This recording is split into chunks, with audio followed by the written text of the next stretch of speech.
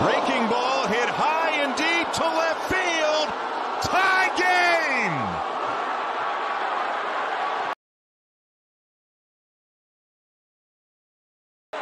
What can you say other than wow? Another curveball, and Vladdy, it's amazing what he has done.